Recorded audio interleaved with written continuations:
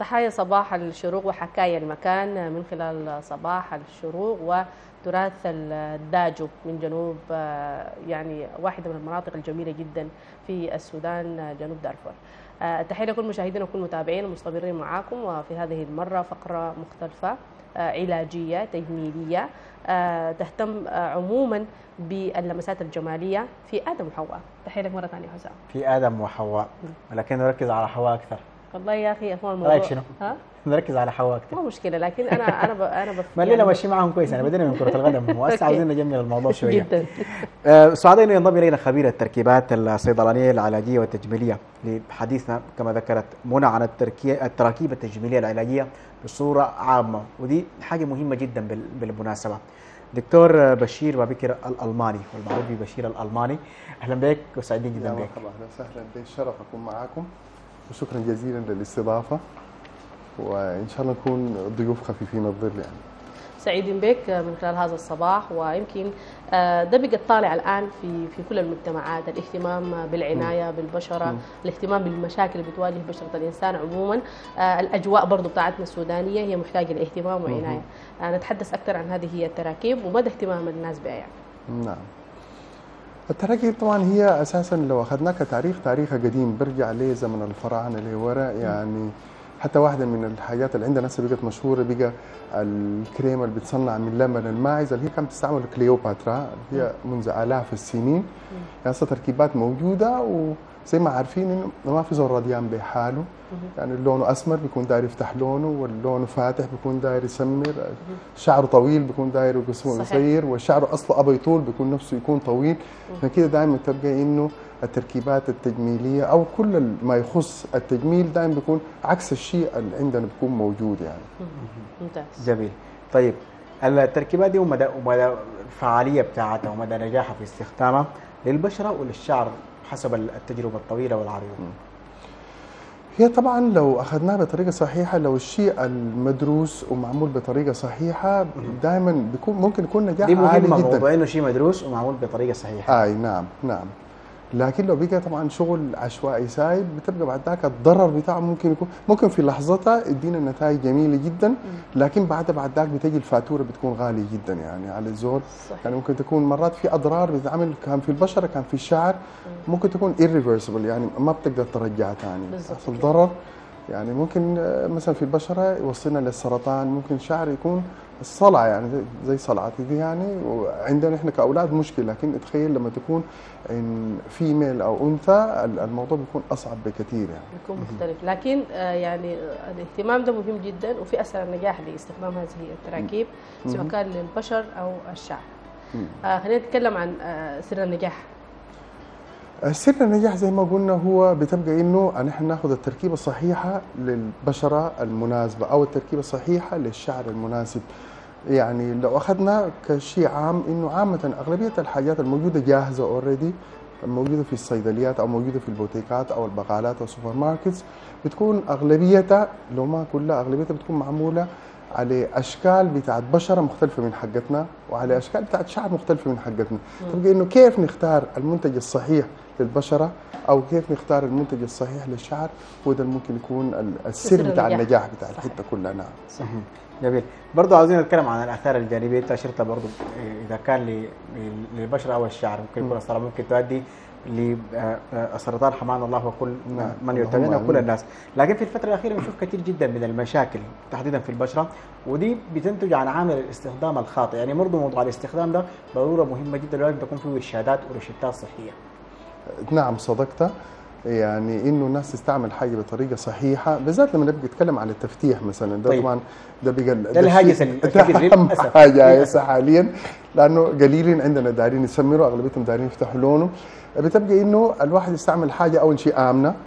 لأنه في حاجات مثلا ممنوع إنه يستعملها أثناء الحمل أثناء الرضاعة. في حاجات ممكن نستعملها في اللحظات العادية. غير كده إنه في أي وقت أنا مثلا استعملت المنتج بتاع تفتيح أمسحه بالصباح أمسحه الظهر أمسحه بالمساء. زمان أيوه ال- الوقت 200 إنه هل بعد ما أنا أمسحه هل في حاجات ثانية مثلا المفروض استعمل واقي بتاع شمس أنا بستعمل حاجة زي دي. مرطب. أساس انه أحمي نفسي. لأنه حتى اللون اللي عندنا المادة اللي اسمها ميلانين ربنا سبحانه وتعالى ما عمل ساين عملها عشان هي حماية حماية. للبشرة. ولكل ما بس للبشرة ذاتها حماية حتى للأنسجة تحت البشرة. يعني عشان هي تمتص ال UV light. لما هي تبقى ما في لازم أنا يعني آية أنا يعني في ناس بيعتبروا جزء من الجمال إنه يكون لونه فاتح. لازم يكون عندي طريقة ثانية أنا أحمي البشرة وأحمي الأجزاء اللي تحتها صحيح. أي نعم. طيب خلينا ندخل deep في في التراكيب أو بعمق في. استخدام هذه التراكيب. من خلال تقشير من خلال إزالة الكلف والنمش والآثار المترتبة والتصبغات ممكن تكون. آه، في الوجه أو في البشرة عموما بالنسبة لحواء ولآدم. خلينا نبدأ بالاستخدام الصحيح لهذه التراكيب. وكيف الواحد يعرف نفسه؟ هو فعلا الآن محتاج إنه يعمل تراكيب لبشرته. أو شعره يعني. هي بتبقى طبعا جزء من المفهوم ممكن يكون المفهوم الخاطئ. نبدأ بالتقشير أول شيء.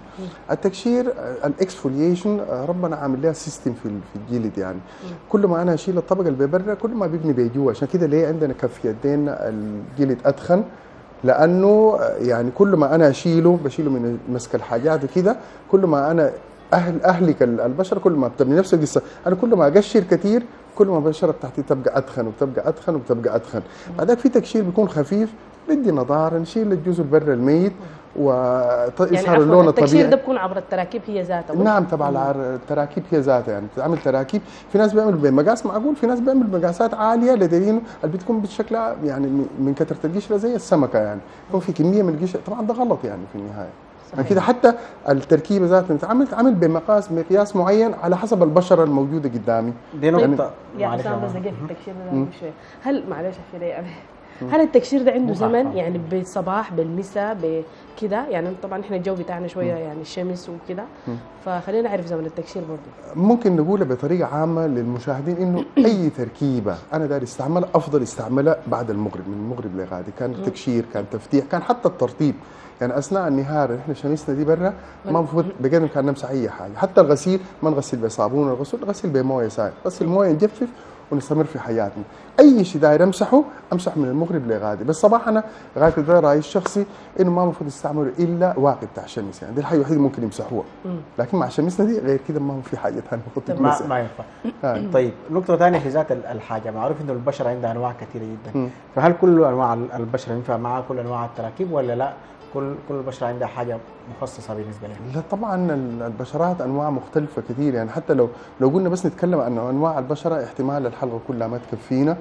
آه، كل بشرة طبعا بيكون عندها بعد ذاك آه، طريقة بتاع التعامل معين. هي بعد ذاك تتوقف على زول المتخصص اللي هو بيرشد الزبون أو المريضة أو المريض على أساس إنه يستعمل الحاجة ال- المتخصصة بالنسبة لنوعية البشره بتاعته. ده الفرق بيبقى عندك بين الزول المتخصص وبين الكريمات وكده بيمشوا يشتروا من السوق ساعات يستعملوها الفسخ والجلد. بطريقه أيوه فسخ وجلد كريم بارد وكريم سخن وزيت بارد زيت سخن. عندهم ذات أسامي يعني على بيعرفوها. نعم.